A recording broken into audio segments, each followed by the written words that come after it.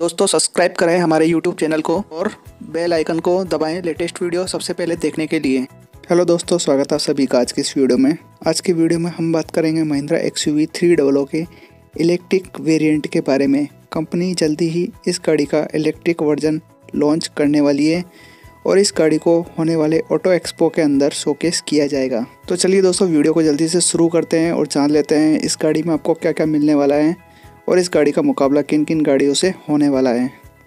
तो वीडियो को जल्दी से शुरू करते हैं और अगर आप हमारे चैनल पर पहली बार आए हैं तो मैं आप लोगों से रिक्वेस्ट करूँगा आप हमारे चैनल को सब्सक्राइब करें। इस तरह की ऑटोमोबाइल से जुड़ी जानकारी और इस तरह के अपडेट हम आपके लिए लेकर आते रहते हैं। तो चलिए वीडियो को शुरू करते हैं। दोस्तों, महिंद्रा ने कंफर्म कर दिया है कि वो होने वाले ऑटो एक्सपो के अंदर अपनी एक्स यू थ्री डबल का इलेक्ट्रिक वेरिएंट शोकेस करने वाले हैं। ऑलरेडी इस गाड़ी पर काम चालू कर दिया है महिंद्रा ने। अगर दोस्तों हम इस गाड़ी के डिज़ाइन के बारे में बात करें तो यहाँ पर आपको वही डिज़ाइन मिलने वाला है जो रेगुलर आपको X U three double O देखने को मिलती है। उसी टाइप का डिज़ाइन आपको इलेक्ट्रिक व्हीकल का देखने को मिलेगा।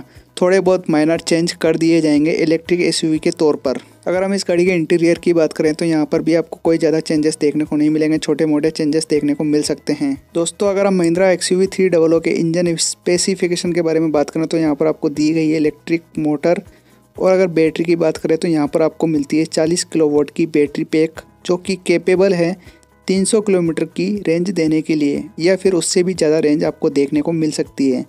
और अगर हम पावर फिगर की बात करें तो यहाँ पर आपको 130 थर्टी मतलब कि 130 एचपी की पावर देखने को मिलेगी। दोस्तों, अगर हमें इस एसयूवी के कोड नेम की बात करें तो इस एसयूवी का कोड नेम है एस टू वन ज़ीरो और अगर इसका नाम है E X U V three double O अगर हम इस एसयूवी के चार्जर की बात करें तो यहाँ पर आपको एसी नॉर्मल चार्जर भी देखने को मिलेगा और डीसी फास्ट चार्जर भी आपको देखने को मिलेगा। जिस तरह की आपको टाटा नेक्सोन के अंदर नॉर्मल चार्ज और फास्ट चार्जर दिया गया है, उसी तरह से आपको इस गाड़ी के अंदर भी नॉर्मल चार्जर और फास्ट चार्जर वाला सिस्टम देखने को मिलेगा। दोस्तों, अगर हम इस एस के लॉन्च डेट की बात करें तो महिंद्रा ने कंफर्म किया है कि इस एस को अगले साल मतलब कि 2021 के अंदर लॉन्च किया जाएगा।